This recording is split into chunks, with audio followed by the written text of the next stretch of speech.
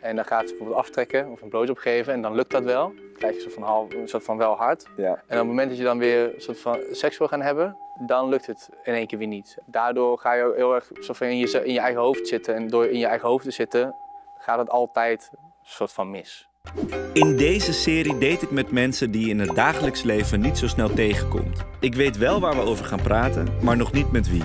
Daten of een one-night stand? Daten, Nooit meer beffen of nooit meer penetratieseks? nooit meer beffen. Wel of niet vertellen voor de seks? Wel vertellen voor de seks. Een erectiepil of slappe piemel? Slappe piemel. Deze week date ik met Joep. Hij heeft erectieproblemen. Hey Joep, Hallo Ralf. fijn dat je er bent. Zeker, leuk. Om eerlijk te zijn hebben we heel lang gezocht naar iemand die dit verhaal wilde vertellen. eh, herkenbaar op beeld. Eh, dat hebben we niet gevonden. Eh, dus daarom ben ik heel blij dat jij er bent. Zeker. Want, eh, heel veel mannen hebben hier last van. En veel mensen denken dat het een soort oude mannenkwaal is. Hmm. Maar veel jonge mensen hebben hier ook last van. Zeker. Wil jij vertellen waarom je anoniem op beeld wil? De eerste keer dat ik het opperde, dat ik, dat ik dit ging doen, had ook op een gegeven moment wat mensen die gaven reacties van, joh, ik heb, ik heb dat niet. Je wil gewoon niet zo van die guys en die hem niet omhoog krijgen. Dat is vooral een beetje het ding. En hoe vaak heb je ongeveer last van? Eén op de drie keer, één op de vier keer. Ja, ja. En hoe gaat dat dan? Hoe werkt dat? Op het moment dat je dan dus seks wil gaan hebben, krijg je zo'n. Van, kom je in zo'n soort van mentale spiraal waar, waarin je soort van na gaat denken: oh, vindt ze het wel lekker? Oh, het moet nu wel lukken. Oh, kut, het gaat niet lukken. Oh, kut, het lukt eigenlijk niet. Ja. En dan wil je dat soort van gaan fixen en dan lukt het niet helemaal. En dan ga je daar druk over maken. Alsof, oh, zij vindt het sowieso kut. En dan ga je zo, maak je jezelf helemaal onzeker en dan lukt het niet. En dan voel je je heel ongemakkelijk. En waar ben je dan bang voor precies? Dat de ander bijvoorbeeld denkt? Ik denk vooral dat het soort van de, de prestatie, prestatiedruk is die je bij jezelf oplegt om te zorgen dat zij het ook lekker vindt. En dan heb je het soort van alleen over penetratie. Terwijl seks is natuurlijk veel meer dan alleen maar penetratie. En wat was dan de eerste keer dat dit bij jou gebeurde? Ik had een meid ontmoet op een feest. En die kwam toen een keertje over. En zij wilde toen meteen binnen een half uurtje wilde ze naar boven en seks hebben. En, Hoe oud eh, was je toen ongeveer? 22 denk ik. Ja. En eh zij meteen naar boven en ze wilden allemaal gelijk tongen. En to- ja, tong, prima. Mhm. Goed, eh, wij bezig en zij trekt zo allemaal kleding uit. En ik merkte gewoon aan mezelf al van, joh, dit, dit is echt niet de vibe. We moeten nu seks hebben, zo voelde het een beetje. Ja. En toen op een gegeven moment lukte dat dus niet. Toen begreep ik zelf ook nog niet zo helemaal lekker waarom. Eh, waardoor je soort van, ah ja, sorry, het lukt niet. En eh, ehm, ja, eh, volgende keer of zo, weet ik veel. Je gaat een beetje van die rare excuses verzinnen. Ja, zij reageerde best wel, best wel een soort van, oh jammer, waarom niet? Alleen als je dan een soort van voor de eerste keer meemaakt, is het waarom niet? Ja, weet ik veel waarom niet. Het lukt niet. Ja, gaat weet ik veel toch? Ja. ja, het lukt niet. En je wil een soort van uitleg geven, alleen je kan geen uitleg geven, want je snapt zelf eigenlijk niet zo goed wat er gebeurt. En daardoor ga je ook heel erg soort van in, je, in je eigen hoofd zitten. En door in je eigen hoofd te zitten, gaat het altijd een soort van mis. Ja. Denk niet aan een roze olifant, je denkt toch aan een roze olifant. Snap je? Dat is een beetje het ding. ja. Hoe voelt het dan als zij dan, dan weggaat? En als het dus eigenlijk is mislukt voor je gevoel? Op zo'n moment voelt dat soort van oké. En dan pas merk je achteraf, dat als je bij, de volgende keer, dat, dat je echt onzeker wordt daarvan. Ja. Je gaat je dan dus van tevoren heel erg druk maken. Op een moment van broek uittrekken en dat- zo'n moment merk ik gewoon heel erg dat ik dan, oh kut, dit gaat niet lukken. Nee. En dan ga je zo, zo op, die, op die baan en dan ben je de lul. Ja, want dit is een soort vicieuze cirkel waar je dan in komt, ja, toch? Zo voelt het een beetje. Ja. Maar jij dacht dus wel gelijk van, oh, ik heb nu erectieproblemen. Nu dat het één keer is mislukt. Voor je gevoel. Ja, vooral de vraag van, joh, wat de fuck is dit dan? Zeg maar, hoezo, hoezo werkt het dan niet? Ik bedoel, want eh, ik had uh, sociale relatie, ging helemaal prima. Ik had, eh, na, voordat ik met haar was, was ik ook met iemand, was ook met iemand naar bed geweest. Dus ook dik prima, niks aan de hand. Hoezo, hoezo dan nu in één keer wel? Ja, dat knaagt, dat begint dan dus wel te knagen.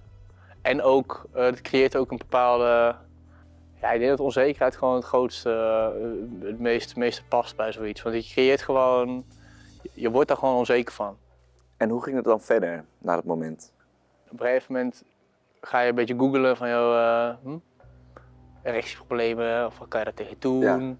En ik heb, ik heb me op een gegeven moment een keertje ingeschreven bij een of andere forum. Toen kreeg hij constant van die pushmails van, man. Fucking vermoeiend, zag je in één keer in je mail. Erectieproblemen. Ik zei ook, het sorry. ja, wat komisch. Heeft dat niet geholpen, zo'n forum?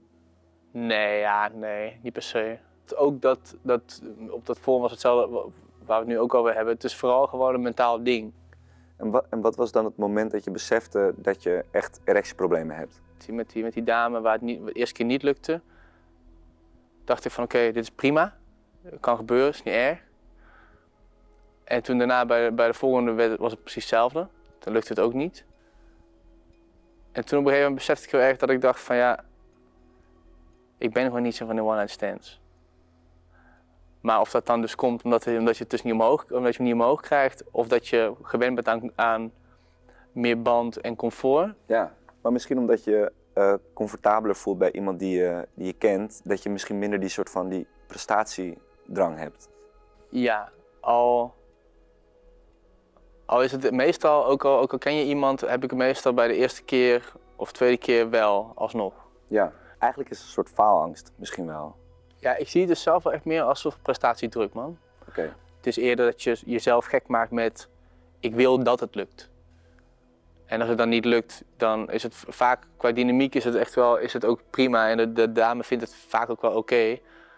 Het is vooral hoe je, hoe je er zelf mee omgaat, of het, of het ongemakkelijk wordt of niet. Ja. Want hoe, hoe reageren vrouwen meestal als dit gebeurt? Eigenlijk iedereen vindt het allemaal prima. Ja. Want seks is niet alleen penetratie. Maar er is één ding wat ik soort van wel vervelend vind, is, dat is soort van, kan ik iets doen? Ja. Ja, kan ik iets doen? Dat is, Ja. En die vind ik zelf eigenlijk niet, niet zo comfortabel om te krijgen. Nee? Nee, want het is meer omdat je, ehm, het, ligt niet, het ligt niet aan wat jij doet. Ja. Het ligt aan hoe ik me nu in mijn, in mijn hoofd voel.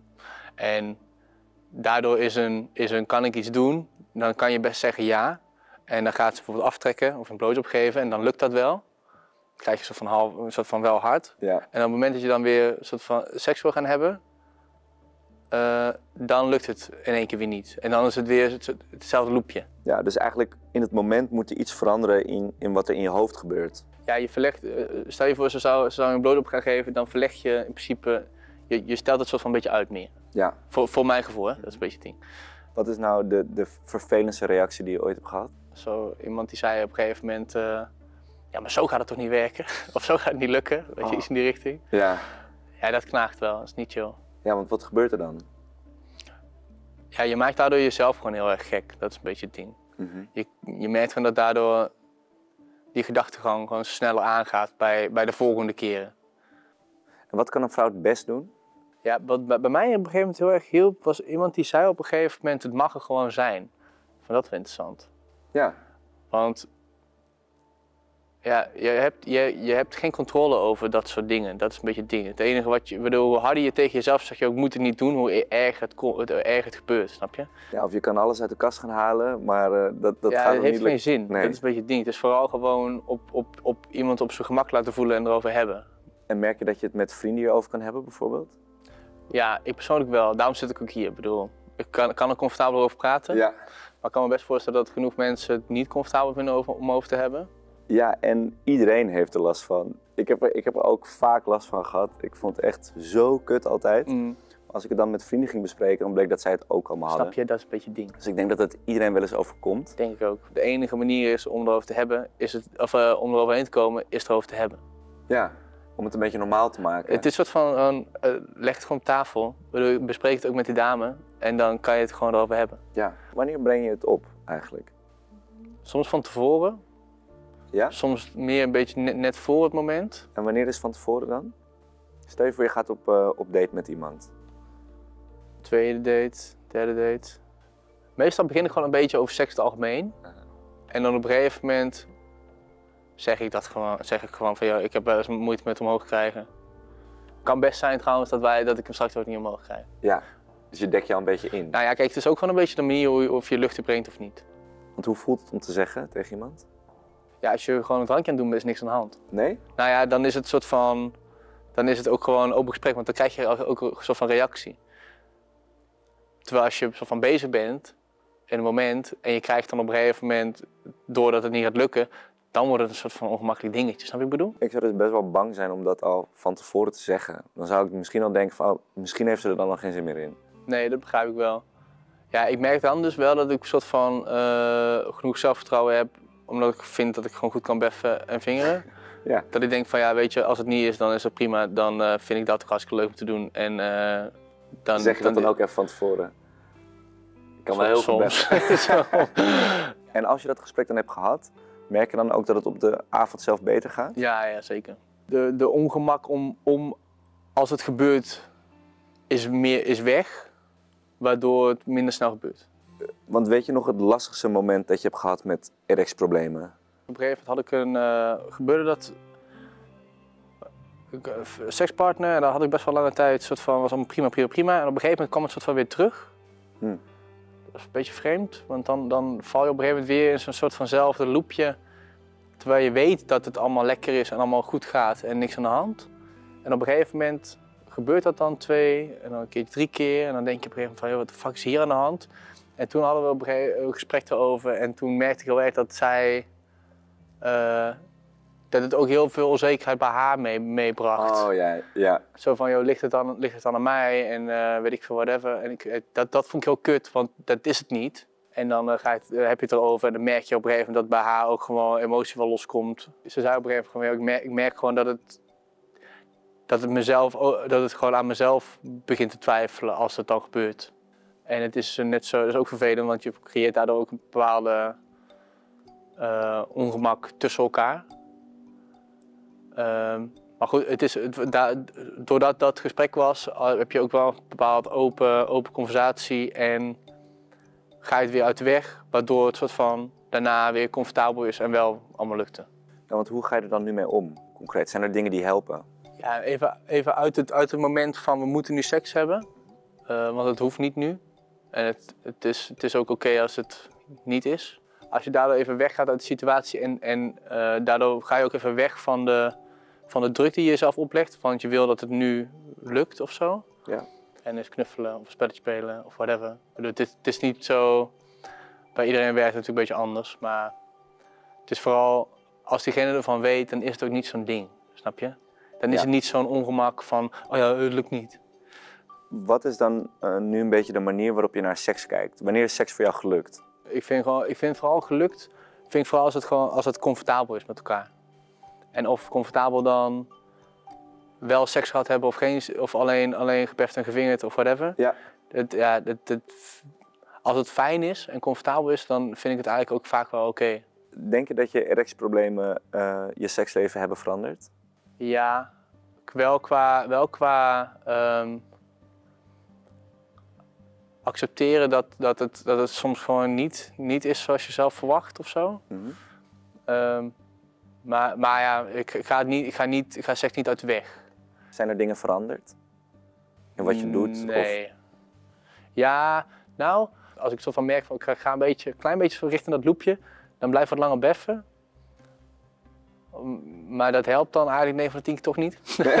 ja, dat is een beetje het ding. want daar heb je er al aan gedacht. Ja, snap je, dan zit je al in dat loopje, dan ben je de lul. Ja. Wat zijn denk je de, de vooroordelen die mensen hebben over erectieproblemen? Pussy. Dat je, Ja. dat je pik niet omhoog krijgt, weet ik veel zoiets. Ja, dat merk je een beetje als je op een gegeven moment in, eh, in, in gesprek gaat met vrienden erover. Dat is dat, van de eerste reactie, toch? En eh oh, nee, heb ik echt nooit last van hoor. Aha. En wat voor vooroordelen hebben vrouwen? Ik heb, ik, heb no- ik heb nooit iemand die, had, die reageerde erop met, eh, oh ja, what the fuck, ja, dan gaan we sowieso geen seks hebben hoor.